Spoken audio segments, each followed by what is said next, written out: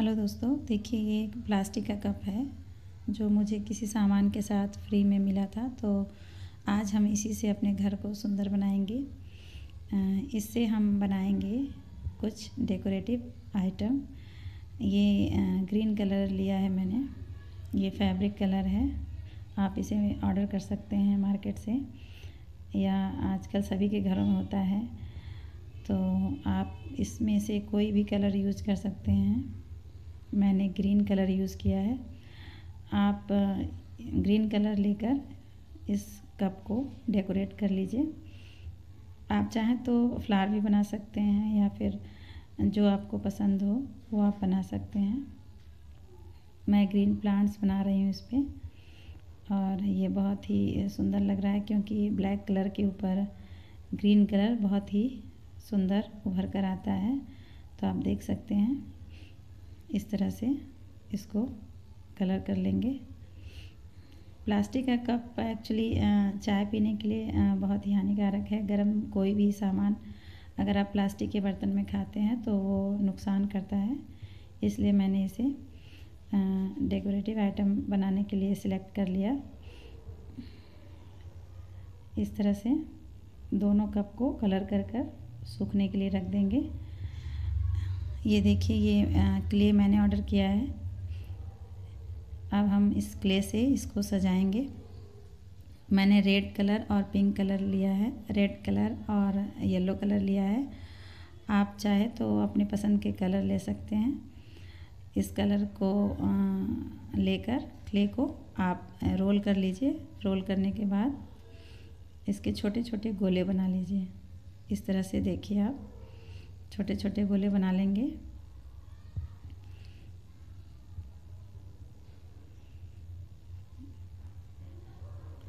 इसी तरह से येलो क्ले लेकर उसके भी छोटे छोटे गोले बना लेंगे। क्योंकि क्ले बहुत ही सॉफ्ट होता है तो ये थोड़ा सा आपको आराम से करना होगा और ये एक बारीक काम है।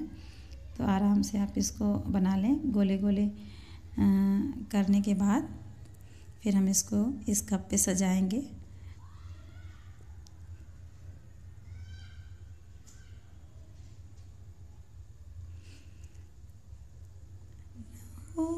के भी करीब तो हमेशा पास था।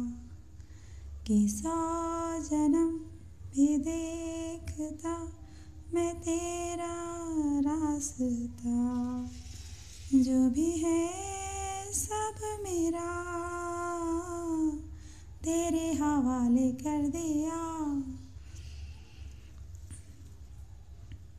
इस तरह से जब हमारे गोले बन जाएँगे तो हम उसको टूल की मदद से उसमें बीच में थोड़ा सा गैप बना के इस तरह से कप में लगाएँगे।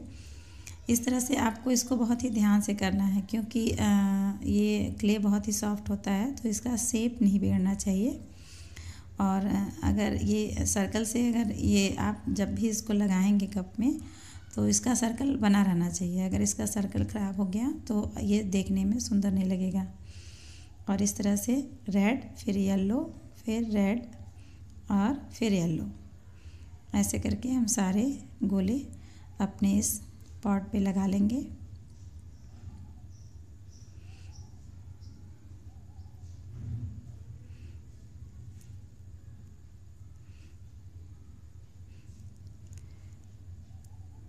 जब भी आप पॉट पे लगाते हैं कुछ भी तो आपको ध्यान रखना है कि आप उसको उसकी सेप न बिगड़ने पाए और ऐसे करके हम दोनों पॉट तैयार कर लेंगे।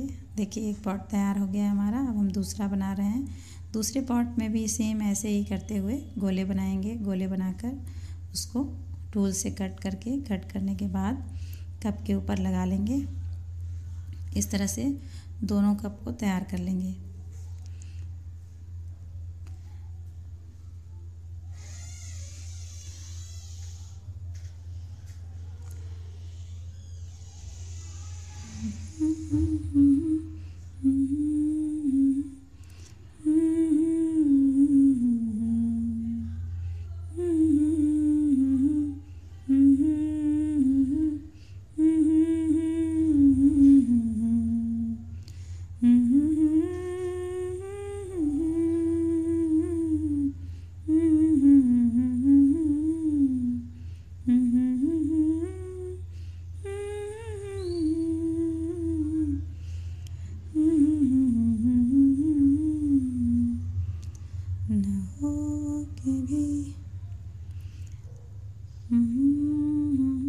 इस तरह एंजॉय करते हुए आप कोई भी काम करेंगे जो आपकी हॉबी है या जो आपको पसंद है तो आपको बहुत ही मज़ा आएगा और अच्छा लगेगा। तो मुझे सिंगिंग पसंद है, इसलिए मैं गुनगुनाते हुए अपने आर्ट का काम करती हूँ।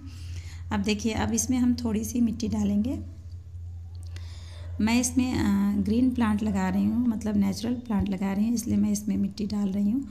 आप चाहें तो इसमें आर्टिफिशियल फ्लावर्स भी लगा सकते हैं और घर के अंदर इसको डेकोरेट कर सकते हैं। मैं इसे बाहर पोर्ट्स में लगाऊँगी तो इसलिए मैंने इसमें मिट्टी डालने के बाद प्लांट लगाया है ताकि उसे धूप लगती रहे।